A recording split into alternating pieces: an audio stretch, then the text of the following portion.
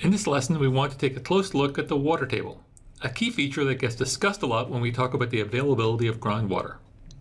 Our learning objective is to use some simple models to define what the water table represents and take you on a short field trip to explain how the position of the water table varies relative to the land surface.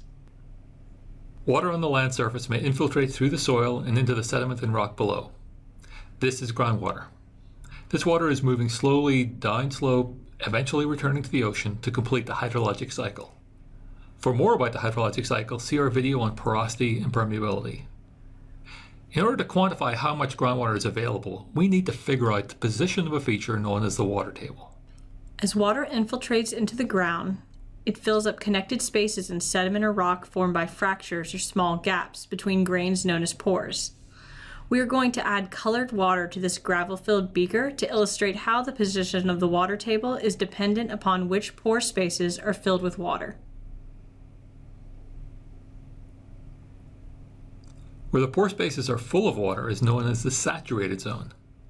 Closer to the surface, the spaces are empty or only partially filled. These earth materials are in the unsaturated zone. The top of the saturated zone is known as the water table. Okay, let's try and find the elevation of the water table in some nearby wells. This hillside slopes down to a small pond that you can see through the trees. There are two wells here. One is visible, the other is hidden in the shadows further up the slope. The relative positions of the wells are illustrated on this cross-section.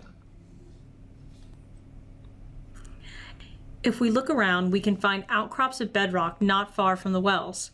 The bedrock here is a type of metamorphic rock. Normally, we wouldn't think of metamorphic rock as an ideal groundwater source, as these types of rock lack interconnected pore spaces. However, as you can see from this outcrop, these rocks contain numerous fractures providing lots of pathways for water to enter the groundwater system.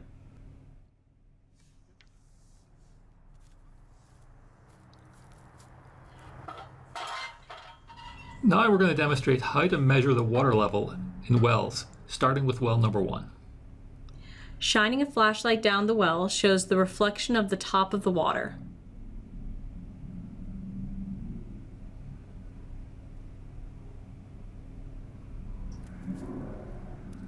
We're using a water level meter. It's essentially a measuring tape attached to a probe that will make a beeping sound when it touches the water.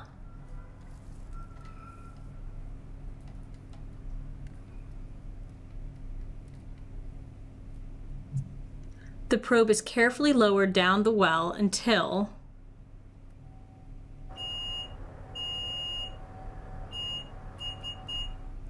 Now we measure the depth by reading the tape.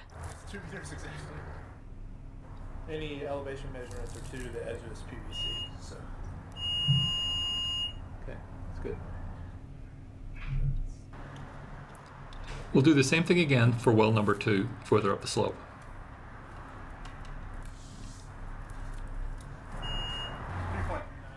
This time the water level was 3.39 meters below the edge of the casing. So let's look to see what all this means. The two wells are about 50 meters apart, with well number two about 2 meters higher in elevation. From our measurements, we know the depths to the water table in each well. Based on our interpretation, we can see that the water table is sloping gently downhill, roughly parallel to the slope of the ground surface. Groundwater is flowing downslope towards the small creek below well number one.